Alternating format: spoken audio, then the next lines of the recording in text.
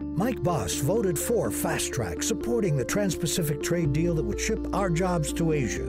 Bost even supported tax breaks for companies who ship jobs overseas. I'll oppose this unfair trade deal with Asia because these deals cripple American workers. Let's strengthen manufacturing, rebuild our roads and bridges, invest in new industries. I'm CJ Baricevic, and I approve this message. I'll be a congressman who stands up for American jobs, not jobs for Asia.